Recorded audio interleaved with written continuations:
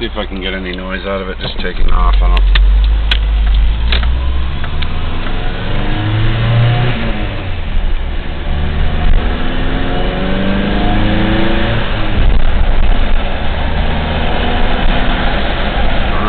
I don't hear anything.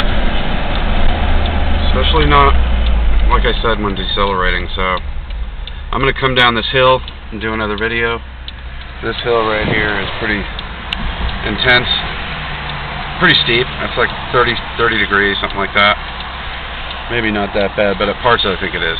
And, you know, I can ride in third, like 45, 50 miles an hour, and uh, show you what I mean. I'll be right up against a sound barrier wall, or a crash wall. So you'll hear there's no ticking at all. I'm just kind of curious if you guys could help me diagnose this before I have to, you know, find a guru again. All right, thanks.